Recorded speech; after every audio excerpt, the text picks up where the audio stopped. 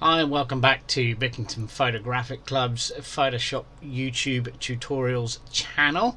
Uh, Photoshop specifically this one, this is actually number three in a series of introductory uh, lessons in using Adobe Photoshop CC. Uh, if you've been following along you'll have seen the first two, we've been using this image throughout.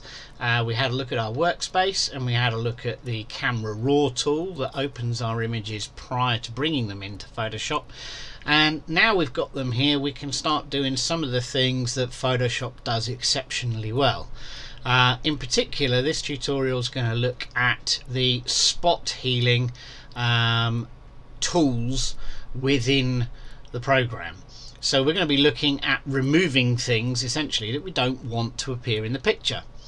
Uh, now we can use the zoom tool first of all um, to get a little bit closer to our image and the reason that we want to do that is because the three things that we want to remove from this particular image are this section of tree above the blue car because it's a bit of a distraction these power lines or telegraph lines that run through here uh, and the post up here.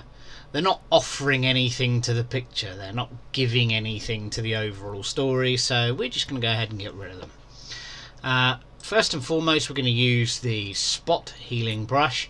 Um, as you can see from the little drawing there it's very very simple to use. It's very similar to a paintbrush in the way it operates.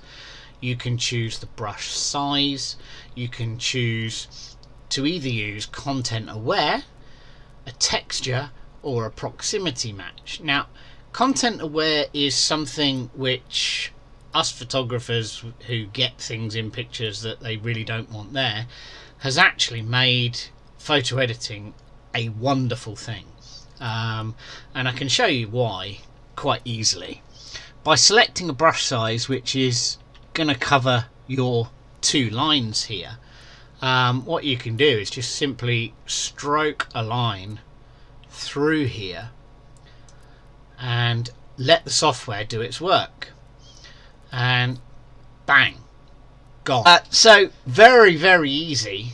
That's taken those out. Now you may want to get a little bit closer um, which you can obviously do. I've used the keyboard shortcuts there which is uh, control and plus on a Windows machine. It's command and plus if you're using uh, a, a Mac machine and obviously if you're doing individual spots you can see that actually what it's doing is it's sort of moving the lines along. It's not getting rid of the lines. So you need to be a little bit bullish with what you do. Choose a section.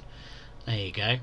Um, reduce the size of your brush now that you've zoomed in slightly and carry on along. And reduce again carry on along and carry on along and very broadly speaking if we zoom back out again that's control minus or command minus our cables have vanished.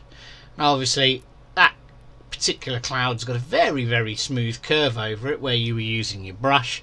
What you can do if you want to is just using a brush is just break that up a little bit by throwing a couple of random spots in just to give it some movement and some texture back. Um, now it looks a little bit less obvious and anywhere else where it might look like you've drawn a line to remove something you can go in and just spot to your heart's content until you're happy. So that's using the spot removal uh, or spot healing brush in content aware mode. Um, we're going to do something slightly different with uh, the tree here and we're going to show you that in the next tutorial. So it literally follows straight on from this one so it'd be a good idea to jump into that one and see what we're going to do. This is Bickington Photographic Club's uh, YouTube's tutorial channel. This was Photoshop session 3 using our spot healing brush to get rid of those lines. And we'll see you in lesson 4 when we're going to get rid of this part of the tree. Thanks for watching. See you soon.